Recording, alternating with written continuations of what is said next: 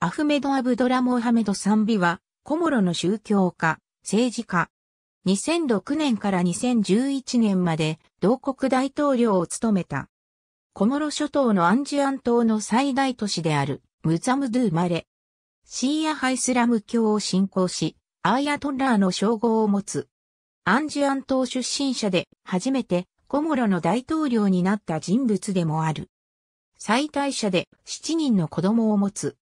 マットレスや飲料水、そしてコモロの主要輸出品の一つである香料などを生産する加工工場を保持している。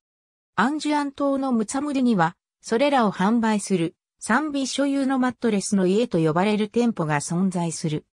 また、ウレジというテレビ放送局の創立者でもある。コモロを代表するウラマーである。スーダン、サウジアラビア、イランへ留学し、イスラム学問を学んだ。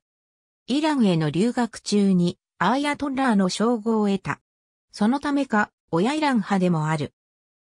貧困問題への対策や、雇用創出、コモロ国家崩壊危機の回避を掲げ、2006年5月14日の大統領選挙に無所属候補として出馬し、アザリ・アスマニ大統領の支援を受けたイブラヒム・ハリディや、フランス空軍の退役軍人で、連合議会副議長などを歴任したモハメド・ジャーン・ファリなどを退け、58.02%の得票で当選した。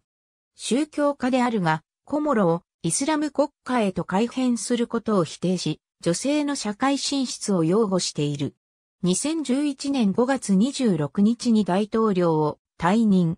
大統領の再選を可能とする憲法改正案に反対の立場を取り、2018年7月の国民投票実施にも反対の立場だった。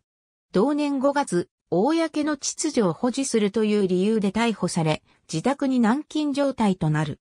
8月にはパスポート不正の容疑で逮捕された。ありがとうございます。